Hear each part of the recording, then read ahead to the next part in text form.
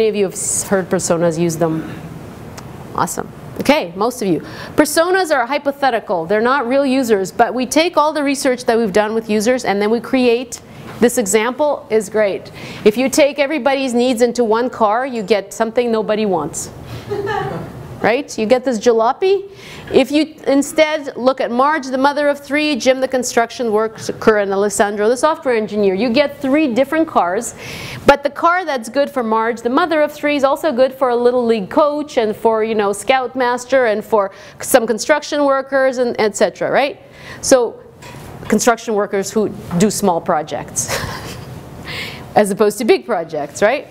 So that's the specificity of picking a person, really narrowly focusing on the different needs and actually creating this virtual hypothetical person that everybody can relate to. Now, in your design meetings, you're going, okay, uh, would that work for Jim?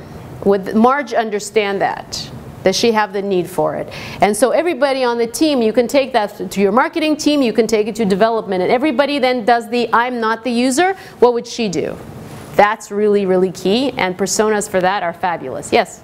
In this example, you've got three different products. Yes, set of, um, of personas for a hardware product. Uh, we have Cautious Carl, Businessman Brad, Mobile Mike, and Mainstream Mary. Okay, some of them are anti-personas. Okay, who are going to be setting up and really like pushing their machines.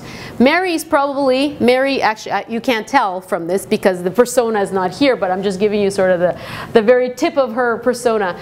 But Mary has. Uh, she's a, a, nurse and she has a teenage son and she works a lot of hours and she doesn't have a lot of tolerance for technology.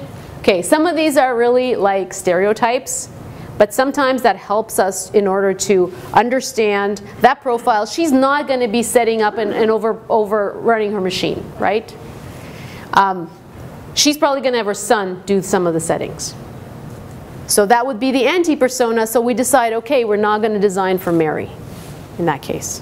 But understanding the, the breadth of your, how many personas, how different they are, it's, it's a whole science of.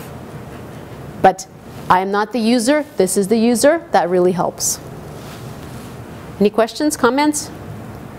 Okay, so then building stuff, and depending on where we are in our design process, we in architecture we have these kind of prototypes you know from the back of the, from a napkin to a 3d model to a physical model maybe uh, 3d with shadows and now finally we actually have the building this is the uh, i think the los angeles concert hall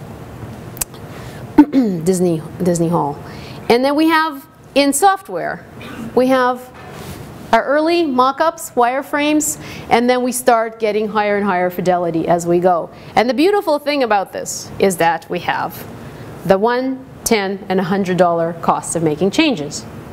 When we early on, making all those changes on paper is really fast and easy.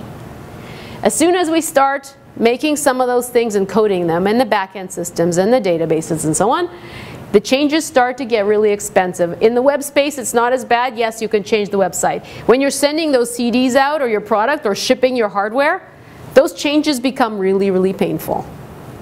So the sooner we can get things early and the more we can learn about our users, the faster we go. And so here's some examples of prototypes.